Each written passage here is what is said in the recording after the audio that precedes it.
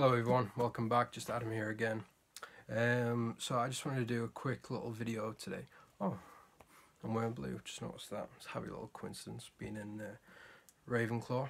So I just want to do a little quick video today just on this book, Harry Potter and the Half-Blood Prince.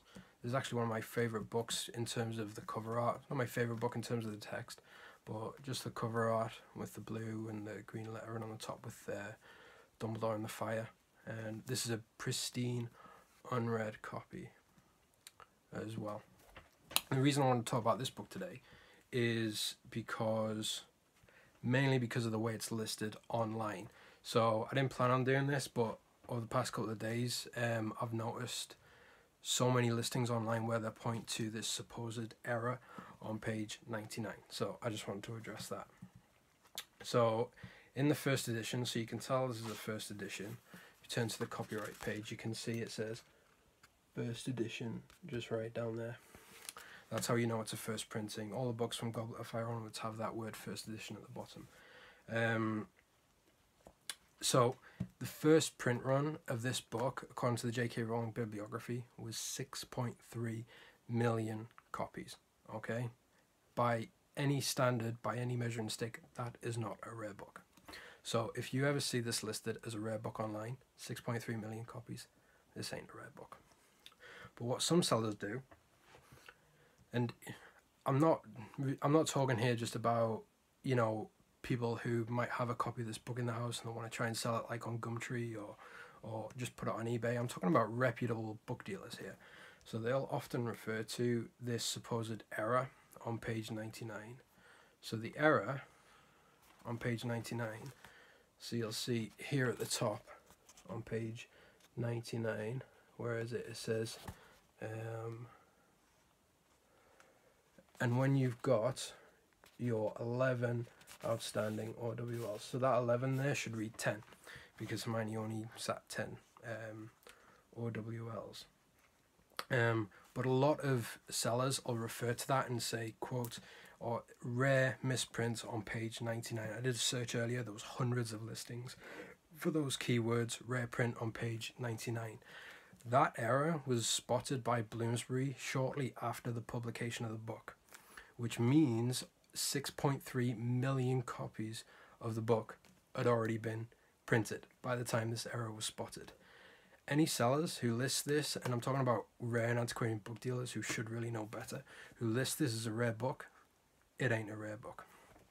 That error was supposedly corrected in later reprints. I've never actually seen any later reprints of this book. Apparently, there's reprints of it up until like the fifth or sixth printing, but I've never seen any printings beyond the first printing. Even the box sets, which have the books one to seven in, Half Blood Prince is a first printing in that. But that error was corrected in the paperback, which I have right here. So the paperback came out um, about about 11 months after the um, the hardcover um, in a print run had a print run of about half a million copies. Um, so not quite as many as the um, as the first printing hardcover but still a lot of printings. And you can see on page 99 that 11 has changed to 10 outstanding OWLs so it was corrected in the paperback edition um, what a lot of people don't, and what I haven't seen a lot of, is that this mistake of 11 outstanding OWLs is also present in the Canadian edition, which I have right here.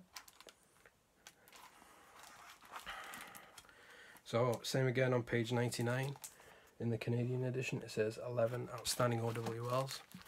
You can tell it's the Canadian edition because it has Raincoast on the side. And this is also the first printing. You can tell from the number line there at the bottom, the number one, indicating it's first printing. But this is also in the first American printing of the book. So this is actually on page, I just checked this earlier, so this is on page 100. So if you turn to page 100, it's near the bottom there, and it also says 11 outstanding OWLs. You see it just down there at the bottom. there was over 10 million printings of the American first edition.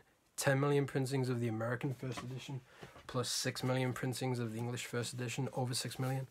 That's over 16 million books with that 11 owls error. That is not a rare error. If all the first printings have that error, it's the same as saying that none of the first printings have that error. So it doesn't make it any more of a rare book. So that's it for today. I just wanted to address that. Um, 11 OWLs, uh, 11 OWLs, um, supposed error in that book. This book, the UK edition, if you live in the UK, you can pick up a pristine copy of this for like a tenner with shipping as well. If you live in America, shipping, you're probably looking at about 15 quid alone for shipping, so you're going to have to pay a bit more. But in the UK, these are readily available in this kind of condition for less than £10. Um, the most I've seen one of these listed online, unsigned, I've seen them listed up to £500. You do not have to pay that, okay? Save your money, don't pay more than a tenner for this book. Alright, see you later.